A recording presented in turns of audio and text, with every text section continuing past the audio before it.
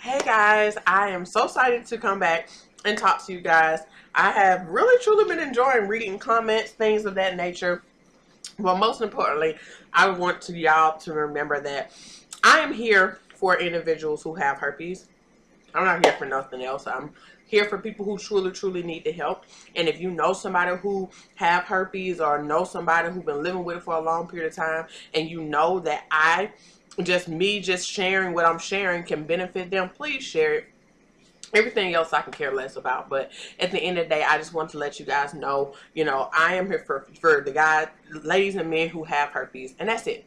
Other than that, I just want to come to you guys and talk about sex after herpes. And I know this is one that we all want to talk about. Many may think like, how can you have sex after this? You shouldn't be having sex because you have an STD. You sh you shouldn't be doing anything. You need to save yourself. Whatever, whatever, whatever. Okay, so I'm going to really share my opinion about all of that, okay? So number one, you can have a sex life after me. I mean after herpes. A lot of you guys are scared about that because you your biggest fear is transmitted over to somebody or somebody agreeing to being with you and then you still transmit it over to them. They get mad at you, they leave you, try to hit you, kill you, all these other things. So I want to explain to you guys how you can have now after safe sex, which y'all know I don't really like saying that, but can have sex um, and try to protect your mate after. Okay, so number one, we all hear this from our doctors, is that, you know, do not have sex when you have an outbreak. Like, and you hear from your doctors, well, what about the, the shedding and what about this and what about that? Number one, yes, you do shed. Typically, we shed in our first year the most, and after that, we don't really after that. We do, but not as much. Okay, so another thing is when they say if you do not have an outbreak, you're fine. They're correct. They're not lying to you. Okay, they're not lying at all. But a lot of you believe um, an outbreak is just blisters, cuts, bruises, um, lesions, however your outbreak comes. You believe if I don't see that, then I'm good. No, not true. When we mean symptoms, we're not talking about one symptom. We're talking about the uh, swollen lymph nodes. We're talking about the fever like, um, if you have still get that, you know, feeling like you having a fever. I'm talking about the itching, the burning, the discharge. I'm talking about the achy legs. I'm talking about all of it. I'm not talking about one symptom. And a lot of you guys are, and including me, I had I have done it too, that we think one symptom is just blisters. No. And that's why a lot of people have herpes and they don't realize it because we're all looking for some blisters, some cuts, some something. And honestly, we, we're neglecting the symptoms the warning signs. And a lot of us ignore warning signs. And that's how we got it for so many people or people are getting from people or we contracted whoever we contracted from because that person had symptoms and they was not paying any attention. They didn't think it was that big of a deal. It may not been as bad. Everybody's outbreaks is not the worst of the worst putting them in a hospital. It's not that. Some people's stuff is so mild that it's like it's no big deal. Or they have like, you know, a little itching for a day and it's over. You got some people who have an aching here for a day and it's over. You know, type thing on two, three days. It's not lasting long and it's not bothering them for them to be aware of the fact that they're having an outbreak. So that with that being said, that's why 90% of people are contracting herpes from people who don't know. And it's not that they don't know because they haven't been tested. Typically they haven't because nobody knows they're being tested um, not being tested for herpes because they're not active for it. But no, number one, they're not going to get tested for herpes because they, number one, they don't believe they have it because they don't think they're outbreaks. They don't think they're having an outbreak. So with that being said, you have to understand when they say you don't have sex if you're not having sex or if if you're sorry guys if you don't have an outbreak then you, the chance of you passing on to anybody is really slow then or not chances you can't pass it on to somebody is because they're meaning all symptoms. Outbreak means with a lesion or without with one and without one. You're not going to always have a blister or a cut or whatever you may have. You're not going to always have that. Sometimes you may just have swollen lymph nodes. Some days you may just have itching and, and burning. Some days you may just have burning. Some days you may just have discharge alone. You know, you don't know how this is going to affect your body. So my whole thing, don't ignore nothing that's going on in your parts. Okay, just don't ignore anything at all. If something's going on, stop, halt, all sexual activity, period. Just halt and figure out what's going on with yourself. And that, I think that's just the main reason why a lot of people are struggling um, with uh, can, how can I have sex after this? It's because you don't understand that symptoms are symptoms. Okay, symptoms are symptoms. So if you're not having any symptoms, can't pass nobody on anything on to anybody because you don't have anything going on. So I just wanted to stress that to you guys because I know so many of you guys are worrying that even with somebody, if you're in a relationship with them, they're fine with it and they're asking you, how can we protect ourselves? What can we do? What can we not do? You can kind of do whatever you're going to do. You're going to have sex the way you're going to have sex. But the help them from getting it is the fact that you pay attention to your body and you do what you need to do. So number one, your your role in this your your your responsibilities is number one tell that person that you have herpes. And and, and if they accept it they accept it. They don't they don't. We really don't care what they decide to do my whole thing is your responsibility on your side of making sure you tell that person because you know how you felt when they did not tell you. Now, if you're a person who knew that person had herpes, well, you knew the risk was there, and this is where they messed up at. You know, this is where the fault came in, if you want to say, or the misunderstanding, or whatever may case may be in, because they didn't understand that you know symptoms are outside of just a blister. Okay, so with that being said, you have to make sure you tell that person that you have it. Number two, after that, is making sure you are aware of your body. Know your body. Know when you're having an outbreak. Know all the symptoms that you have. You need to know yourself inside out because the way for you to protect that person is for you knowing yourself. And that's even if you don't have an STD right now. The way for you to or don't have an STD if somebody's watching who don't have one. The only way to protect ourselves, or even us, to protect ourselves from something else is being aware of our bodies you must be aware. And a lot of us have no clue what our parts even look like because we don't look, we don't know what normal is because we probably never had normal. You just never know. Um, I don't know your situation. So with that being said, a lot of us just don't know our bodies. And as we know, as teens and all that stuff, people be like, don't do that and don't touch that. And you shouldn't be doing that. My whole thing, learn yourself because at the end of the day, it's all you have is you. So you might as well learn you. Um, so number second thing is to know your body, know your outbreaks, know what they look like, know what they feel like.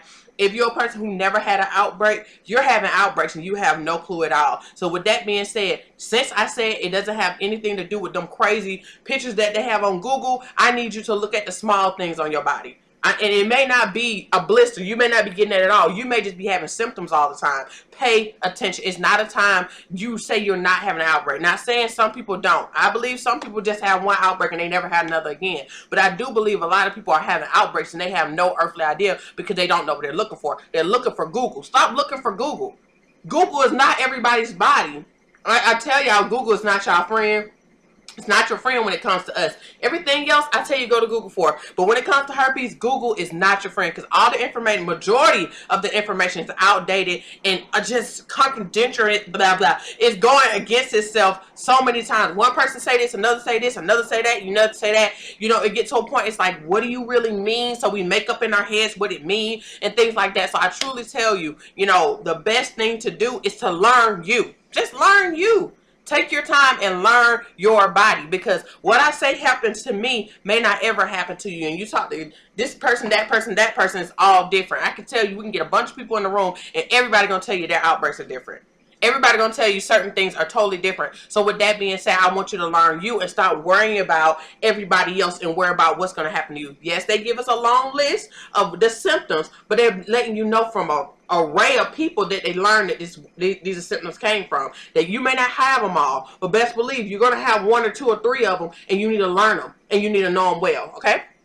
And then the last, um, third thing is to determine how are you going to keep your outbreaks down? How are you going to reduce them? Y'all, y'all know me. I tell y'all, I do not take anything. I go the natural route. I just did not want to take medicine all my life. I felt like it was like a, it's just like reminding me every day. And I don't want to think about herpes every day. I just don't feel like it's necessary. So with that being said, I didn't want to take it because it reminds you like you're dying or you got a sickness or something. I just didn't want to feel it. So with that being said, I just like, you know what? I don't want to take that. And I hated pills at that time. I couldn't barely swallow a little baby pill. So I was like, uh, I can't do it. So I decided to go the natural route. So when I, I mean a natural route, I mean um you're doing olive oil, oregano oil. You can do tea tree oil and coconut oil together. Put a little bit down there it's going the tea tree oil is going to dry it out, and the coconut oil is going to reduce the itching and the burning. Um, you can do warm baths. Um, drink different type of teas. It's just so much you can do, but those are the main things you can do to apply, um, which is the oils, um, the essential oils. And then for your immune system, you can do zinc, um, lysine. You can also do um, blah, blah, blah, blah, uh, vitamin C. I'm trying to think everything at the type of uh, in the moment um, that you could take, and then as the next thing, you can take your Valtrex if you on the other side. You can take the Valtrex, okay, if you decide. So that's your natural route uh, versus your medicine, okay. You choose. I'm not ever going to tell you what to do. If any y'all talk to me on the phone, y'all know me. I'm not going to tell you what to do. You do what you feel like is best for you. adult, you can make your own decisions. My whole thing, if you don't want to do it that route, y'all know what to do. If you do want to take it that route, you know what you want to do. Um, but for me, I'll say I do the tea tree oil, the uh, coconut oil, and then I do, for my immune system, it's greens. A lot of you always ask me, what the heck are the greens? Um, I did not bring them in front of me. But um, as y'all know, I'm an It Works distributor, and when I joined It Works, I learned about the greens, all right? And then the greens is eight servings of fruits and vegetables. You have 38 superfoods. Like, I absolutely love it. It gives me dumb energy, which I know y'all need because y'all not sleeping. Y'all stressed out now. All so many other things. Um, And uh, on top of that, we're working and all this other stuff. So, with that being said, you got to understand you have to take something for that immune system. I'm not saying your immune system is going to be tip-top shape. Nobody's that. We're getting, we're in contact with stuff all the time. But you must take something or do something. So I take that on top of trying to keep my um, eating habits up. So, you know, eating a lot of fruits and vegetables, most importantly, green vegetables, um, drinking a lot of water, trying to work out since it's me. I ain't been working out as much, but trying to get back into the habit of working out. So if that's what I, my whole thing, I don't care if you just walk. I don't care if you just get a big water bottle and drink it. I don't care if you just take just one pill a day. I don't care. Just do something to get that immune system up. And as we know, it is getting cold outside. Some people are up north, some are down south. I'm in the south. I'm in Atlanta. It is not cold here, but I know up north and New York, it is freezing. Okay. So with that being said, make sure you're doing what you need to do, especially for your weather, but most importantly for you, because you know you got to keep that immune system best as possible. And number and another thing, make sure you're getting sleep. Okay. I know that's hard, but you must get some sleep. Okay. Next thing, um, and the last thing is talking to your mate. It's time to talk. I think sex is a problem because nobody communicates. That's the biggest thing. And if y'all want to say, it's because you have to wait into marriage. Look, let me tell y'all something. I'm a Christian. Okay, I am a Christian, but I also have to be real with myself. I had sex outside of marriage. So a lot of people want to say, since you had sex outside of marriage, it's your punishment. You sin. You did this. You did that. My whole thing is I read the Bible just like everybody else. And since I read the Bible like everybody else, I know Jesus died on the cross for my sins. So with that being said, I went and I did my part, which the Bible states. I did my part, I confessed, and I'm moving forward. Not saying I didn't slip up and went back and did a couple of more times. Not saying that. But at the end of the day, I am still being blessed. And that's my my downfall is the reason why I'm here for many of you guys now because you didn't have too many anybody, especially African American women, doing this. So me falling was a benefit for millions. So with that being said, I just want to put that out there. I am a Christian, and a lot of people may think like, "How you a Christian?" But you're telling people how it says. My whole thing, I'm re I'm talking to the people who need to hear it. You know, we're gonna be real. I'm talking to people who understand where I'm coming from because I did not have that growing up as a kid. I did not have that I didn't have anybody telling me wait until marriage. I knew I should have because I was in and out the church, but it's very hard to do something when you have no model at all. I'm being honest. It's so hard. And anybody can attest to this who are who've been struggling in it and still struggling. It's very, very hard when you do not have somebody in the woodworks with you. I did um for a short period of time, for about like a year or two, I was celibate. And guys, it was the hardest thing in the whole world. It was so hard. But the only reason why I made it easier, I stayed out of people's houses. I had crazy boundaries. Um, I didn't go and hang with guys. I didn't, at night, I ain't wasn't on the phone. I wasn't doing stuff. I learned myself in and out, and I stayed within my sisters. I was with my homegirls all the time. We was reading the Bible. We was praising. We were doing other things to keep my mind set. And I'm telling you, I strongly suggest it. I'm not going to lie. If you are after having herpes, go for it. I will tell you to wait to marriage. Because honestly, ladies, I'm to be real with you. You are single until you're married. You're single. Nobody has no right to be committed to you. And I know we're not hearing this at all. We're, we're hearing just don't do it, don't do it, don't do it, don't do it, don't do it. But do y'all truly understand why he say don't do it? And many don't. We get beat over the head with a Bible, and I tell you, you can throw Bibles at me all day. It's not going to make a difference for me because I know my relationship with God and I know He loves me and I'm blessed in what I do. And I know I make mistakes and I'm not perfect and I ain't trying to be. So my sin is my sin and don't worry about my sin. So with that being said, you just have to understand um, the main reason God says that is because of the lack of communication that comes after sex for so many people. When you're not married, which I am married now, sex is to keep you together. It's the point of sex. It's intimacy. It keeps you together. It keeps you glued. And when you're glued to somebody who's not your husband and not committed to you, it makes it so hard to pull apart, okay? And at that, within sex and marriage, it, it creates the closeness, the communication, the, the everything. It creates so much for you. But when you're with a person who is not your husband and you're having sex with them, you create that. But what you're missing is the fact that you're not getting the communication that you would get out of your marriage. You're not going to get that with somebody who's not yours who's not committed to you. You're not going to get that. And have y'all noticed when you have sex with somebody, it seems like communication gets all over the place. Y'all know, y'all not as close as y'all used to be. Just so much stuff is going on. And that's because y'all don't have a covenant or a commit full commitment to each other. He's not committed to you and you not committed to him. So sex is to bring you closer together and glue you and tie you up tight but we're getting tight clothes with so many people. And I know, guys, I've been there. I've been there. You wonder why, you know, you wouldn't be with him, but you could feel him. And you can, you know, you craved him. And you wanted to be with him all the time or wanted to be with her all the time. It's because of that. It, it glued you tight. You, I can feel when my husband gonna call me. I can feel my husband don't feel good. I can feel my husband um is angry. I can feel it all because we are like this. We're glued tight. You know, we're glued tight. And that's why God truly do not want us having sex before marriage. That's the main reason, guys. It's create the communication. It creates the togetherness, the loving, the be there for us type thing. Be here for us. But you're doing that. We're doing that. And we have, and I have, and my husband has too, done it. And it has caused so much havoc in our lives. So you want, you know, you hear it from other people who, you know, you're holier than thou friends sometimes. And then you have your friends who truly do love you. Um, and I had those as well who said, you know, Belize, you got to do the right thing. And I knew, guys, I'm not going to act like I didn't. I knew I needed to be having sex.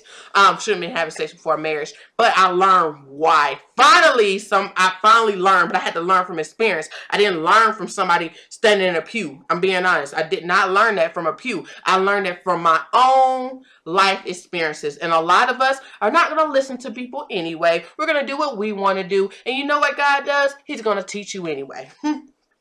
So with that being said, you can talk to anybody who um, is out here. Most people do not want to be having sex right now, but we just truly don't understand. We truly don't understand. Um, so I just say next time you just know um, you know why now. I just want to bring that up because so many people want to talk about that as well. You should have been doing it. If you weren't doing you did that. My whole thing is I know I have so many women I talk to who are getting herpes in their marriages or getting herpes, did not know they had herpes and now it's popping up in their marriages. So my whole thing is STD is going to pop up wherever you are. Waiting a marriage, waiting after marriage, it can pop up. Even if you save yourself, just say from now on, you know, you save yourself and you get married to somebody. Y'all do everything. Nothing shows up, whatever. Later on, boom, something can comes up. That's the thing that can happen. And a lot of people want to pull the you're nasty, you've been with a lot of people, it's your fault type thing, da da da da da da da. Yeah, but at the end of the day, we have to understand these viruses are some tricky suckers sometimes, you know. So you think you did your part if you're still getting tested, you're doing all your part, and then all of a sudden it comes out of nowhere, it's going to punch you in your face. And a lot of people are getting blindsided. And once again, going to back to what I was talking about earlier, people don't understand the symptoms to things. We only think about one or two symptoms. We're not thinking about all the symptoms. And a lot of us don't know or we're not aware of it because people stress this and stress that. And we have to understand. And we are, I, I hear the, oh, you got to educate yourself. But when you're educating yourself and you hear noise, you got people in your ear talking and talking and talking. We, we as human beings, listen to words going in, out of voice, out your mouth. Those stick So if you're going to educate yourself, I prefer you to open your mouth and read out loud. It's very vital. As we talked about once before, affirmations are vital because you speak it and your mind has to register it. But if you're reading, not saying that you're not comprehending, but if you're hearing other things in your mind and everybody else talking and TV talking and your mama talking, homegirl talking, everybody talking, you're taking in what they say more than what you just read three, four days ago or whatever. That stuff is going to ring more on top of that, that you value somebody else opinion more than you value your own. I don't know why we do that, but we do. At the end of the day, a lot of us are living out what other people told us. Even though we did our research, I'm not knocking nobody. We all have done our research to a certain extent. But we value what other people open their mouths and tell you something. So at the end of the day, I'm going to leave that right there we got to realize we value other people so much that we miss some things. And people and we have to understand people comprehend differently than we do. So they only tell you what's important to them and not telling you the full thing that they need to tell you. So it's a lesson learned. But i just want to tell y'all i kind of know i was a little bit all over the place but those thoughts been in my head all week long. So i was like i had to get them out. So and I didn't want to create another video So I know this video is long, but with that being said, I just want to let you guys know that, you know, that is sex after herpes. You simply tell the person, you learn your body, you determine um, what route you're going to do to per, reduce your outbreaks or cure, you know, deal with your, I won't, no, no cure guys, but to help you speed up your um, outbreaks and then simply um, learning how to reduce them. And then also on top of that, talking to the person that you're having sex. Communication must be there. If the communication is not there, it's a problem. If you cannot talk to this person about sex, if you can't ask them their sexual history, anything like that, you don't need to be doing anything with them. Anyway, that has been something I have done in the past. And I think all humans do it every once in a while. Um, some people are good at it. Some people are on it, on it, on it. And typically I learned that people who are on it like that obsess about everything. They just that type of person. They are germaphobes. They they just this type of people they are, okay? And then you got your people who are kind of carefree, it's like, oh, you know, and you get your people who are super trusting, which is most women. We're dumb trusting majority of the time, um, and we don't ask questions. We don't ask questions. So I fault all of us sometimes that we do not ask the proper questions. And the proper questions are, when the last time you've been tested? When the last time you've been tested? When the last time you've been sexual active? Like, because if you've been tested six months ago and you were just sexual active a week ago, that test ain't it ain't even valid no more. That test don't matter. It's time to get him tested again within the next two or three weeks. That means don't do nothing, no kissing, no nothing with him at all until you get that test. Okay? Speaking from experience, guys, I'm not perfect. I have a mother freaking sex life. Okay? I I got one. I'm grown. It is what it is. I know who I am, and I'm not really faced. It made me who I am today. But at the end of the day, you know, you gotta really understand if you got tested so long ago, that's not valid. What's valid is what's to that at current time. So I would say if he just told you I had sex last week or last month and he been tested three months or four months ahead of that, it ain't valid no more. Go get him tested again, including yourself. You always get tested again.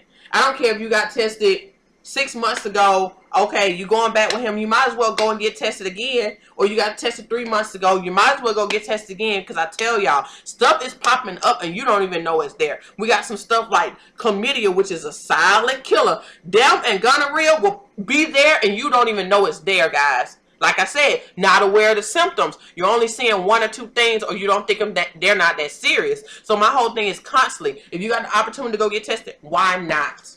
Why not? Go, okay? Number another thing, make him make him show you. Sit down and y'all look at the numbers, look at everything together. Because that word of mouth thing, boy, I tell you, people will tell you anything to get what they want, okay? So I will truly tell you, please make him show you.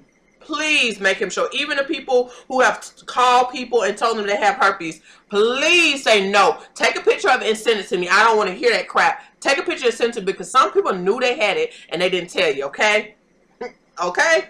So with that being said, make sure, you know, um, you see it yourself. Um, and talk about it. Like I said, go do it together. Don't just force him to go do it. No, y'all go together and y'all go do it together and y'all look at that stuff together. And if he has something, hey, that's something you you two will have to hash out. But at least you know. It's better to know than not know. Okay, we kind of live in a la la land, like nothing's gonna happen to us.